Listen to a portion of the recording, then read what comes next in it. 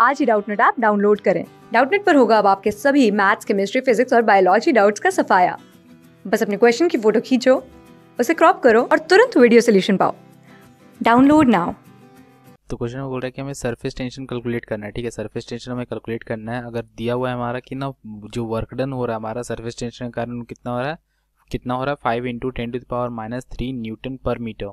ठीक है, ये मेरा वर्क डन है इस सरफेस टेंशन के कारण। और बोल रहा है कि ना जो इंक्रीज इन सरफेस एरिया हमारा हुआ, ठीक है, इस वर्क के, इस वर्क डन होने के कारण हमारा सरफेस एरिया में कुछ इंक्रीज हुआ था, ठीक है तो कितना था इंक्रीज इन सरफेस एरिया हमारा हुआ, वो हमारा क्या है four centimetre four into three centimetre से उठ के एट इंटू फाइव सेंटीमीटर में चला गया, ठीक है एरिया मेरा चेंज हो गया, देख सकते हैं फोर इंटू थ्री को कन्वर्ट हो गया मेरा एट इंटू फाइव में तो हमारा इस सरफेस टेंशन की वैल्यू हमें कैलकुलेट करनी है। तो पहले तो सबसे इंपॉर्टेंट चीज़ बता देता हूँ मैं आपको कि ना यहाँ पे ना एक बस बोला गया है कि लिक्विड फ़िल्म है, ठीक है?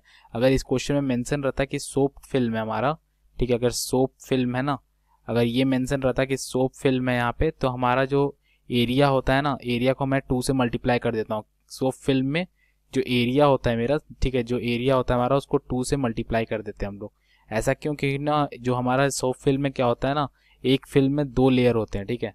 एक फ़िल्म में यहाँ पे दो लेयर होता है। मतलब कि एक लेयर अंदर की ओर होता है, एक लेयर मेरा बाहर की ओर होता है। लेकिन यहाँ पे सिर्फ़ लिक्विड फ़िल्म है तो नॉर्मली आप इसको सॉल्व कीजिए, ठीक है?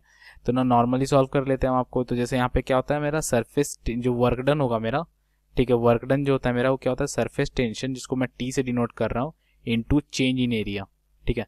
इंटू डेल्टा एस ठीक है? तो हम लोग यहाँ पे देख सकते हैं वर्क डन हमारा क्वेश्चन में कितना दिया हुआ है। ये मेरा फॉर्मूला होता है work done equals to tension into surface area change in surface area ठीक है तो वर्क डन इक्वल्स टू क्या होता है? Surface tension into change in surface area और वर्क डन दिया हुआ हमारा कितना? Five into ten to the power minus three ठीक है माइनस थ्री और सरफेस टेंशन हमें कैलकुलेट करना है। सरफेस टेंशन हमें कैलकुलेट करना है into change in area change in area मतलब कितना हो गया? फाइनल एरिया कितना है मेरा? फाइनल एरिया मेरा एट इंटू फाइव ठीक है तो S F S F minus S I लिखता हूँ, ठीक है?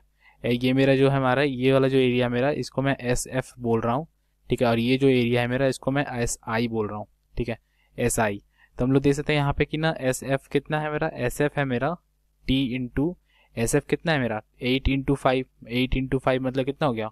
फोर्टी और ये मेरा सेंटीमीटर स्क्वायर है तो इसको मीटर स्क्वायर में कन्वर्ट करेंगे तो कितना हो जाएगा? Ten to the power minus four ठीक है? Ten to power minus four से मल्टीप्लाई कर देंगे तो ये मीटर मीटर स्क्वायर में कन्वर्ट हो गया। अब इनिशियल कितना हमारा?